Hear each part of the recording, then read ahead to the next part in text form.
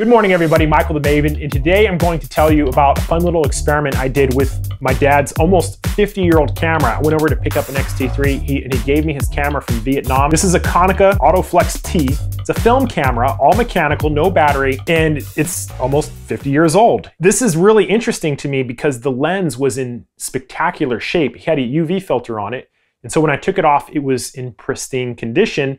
And knowing a little bit about old lenses, I knew that I could adapt it. Now, I own a 3D printer, which basically takes spools of plastic and I can create things. And I've done this before. And you can find downloadable adapters for lenses just like this, the Konica to Sony, and that's what I did.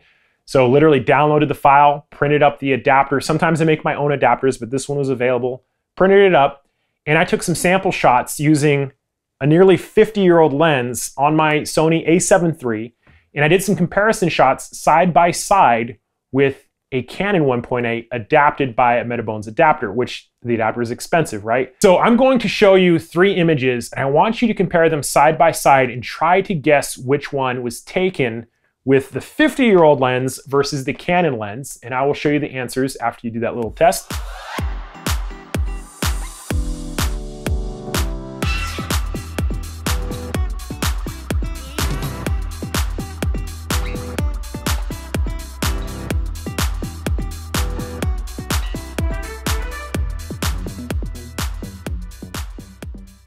So what I'm seeing is obviously this is manual focus. When I'm adapting it, there's no auto focusing. The aperture control is manual, so you can dial it in. When I was shooting, obviously I had to take more shots because I wasn't really sure when I was in focus or not at 1.8, but I really like the bokeh on this lens a lot. It gives it a different quality. The, the contrast obviously is not as good. I wasn't as impressed with that, but it had a completely different feel to a very, very soft look and the eyes could still be sharp enough when I dialed it in. So the reason why I'm telling you all this is that many of you are on a budget and you may have a need for a low light lens.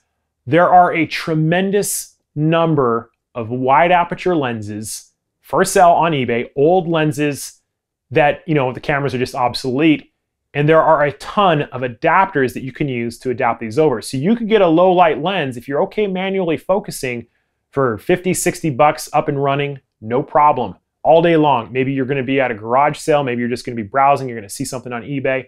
There are tons of articles that talk about adapting older lenses onto cameras. I was thrilled to be able to take uh, a picture with my dad's old lens of my nephew, which is his grandson. It's just a lot of fun. I'm gonna hang on to it. But that is your lesson for the day.